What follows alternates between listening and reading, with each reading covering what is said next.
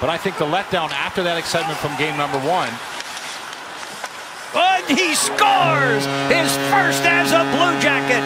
Patrik Laine. 19 goals now against the Dallas Stars. And what an individual effort. And sometimes that puck just follows you around. And here he works his way through this shift. And as he does, he finds it on the, his backhand. No sooner are we talking about how he's got to battle through it as he's going to be out here with Max Domi. Max, Max a little flip to the net. Look at that high stick by the Stars. And Patrik Laine is going to get it, get that puck on the bounce, spin around backhand. And yeah, out of boy. First one for the Blue Jackets for Patrik Laine. Didn't take long. Almost one and a half games.